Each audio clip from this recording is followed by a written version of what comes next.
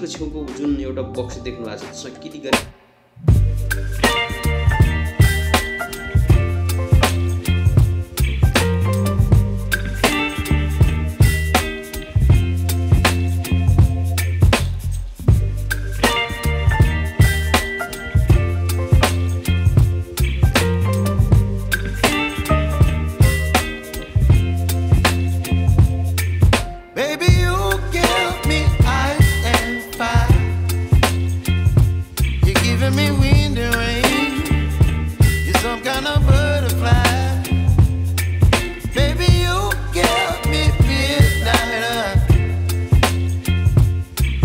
My appetite.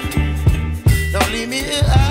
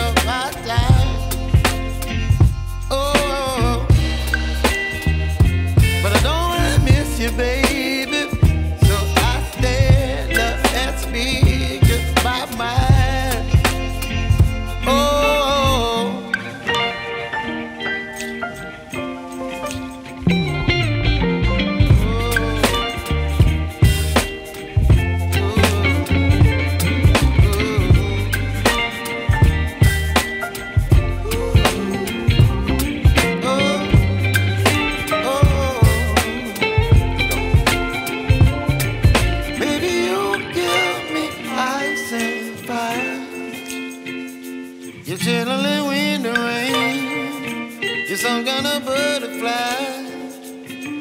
Baby, you give me साथीहरू green screen video download गर्नको निम्ति जुन लेखिएको टाइटलमा क्लिक गर्नुपर्ने हुन्छ त्यसपछि डिस्क्रिप्सन खुल्छ त्यसपछि green screen video download link भनेर लेखेको छ त्यो लिङ्कमा क्लिक गर्नुपर्ने हुन्छ क्लिक गरिसकेपछि हाम्रो गुगल ड्राइभको इन्टरफेस खुल्छ त्यो क्रोम ब्राउजरबाट होइन त्यसपछि त्यसमा धेरै राख्न पनि सकिन्छ। एउटा मात्र पनि हुनसक्छ। त्यसमध्ये धेरै छ यसमा। मैले जुन ग्रिन स्क्रिनमा क्लिक गरेर त्यो भिडियो डाउनलोड गर्दैछु। र त्यसलाई क्लिक गर्नुहोस्। त्यसलाई क्लिक गरिसकेपछि माथि एउटा तलतिर फर्केको एउटा एरो देखिन्छ। त्यसमा क्लिक गरिसकेपछि यो डाउनलोड हुन सुरु हुन्छ होइन? र सुरु हुन्छ। र तपाईँले देखिराख्नु भएको छ। जुन तल डाउनलोड हुन सुरु भयो यसरी तपाईँले यो ग्रिन स्क्रिन भिडियोलाई डाउनलोड गरेर प्रयोगमा ल्याउन सक्नुहुनेछ। यतिन्जेल भिडियो हेरेर साथ दिनुहोस् धेरै धेरै